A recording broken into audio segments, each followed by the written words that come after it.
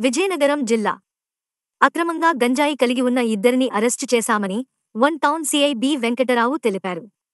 పోలీసులకు వచ్చిన సమాచారం మేరకు విజయనగరం పట్టణం తోటపాలెం బ్యాంకు కాలనీ సమీపంలో ఢిల్లీ నోయిడా ప్రాంతానికి చెందిన ఇద్దరిని సిబ్బందితో అదుపులోకి తీసుకున్నామన్నారు. వారి వద్ద నుంచి పద్దెనిమిది కిలోల గంజాయి స్వాధీనం చేసుకుని నిందితులను రిమాండ్కు పంపినట్లుగా సీఐ వివరాలు వెల్లడించారు ఇక్కడ అక్కడి నుంచి కబీర్ అనే అతను కంపెనీ మేరకు వచ్చి ఇక్కడ ఎవరో ఒక వ్యక్తి దగ్గర ఈ గాంధా ఇస్తే ఈ గాంధాని ఈరోజు పికప్ చేసుకొని రైల్వే స్టేషన్ దగ్గర బైక్ని విడిచిపెట్టి అక్కడ నుంచి ట్రైన్లో వెళ్ళటానికి అని చెప్పి గాంధా పండుగ పట్టుకోవడం జరిగింది.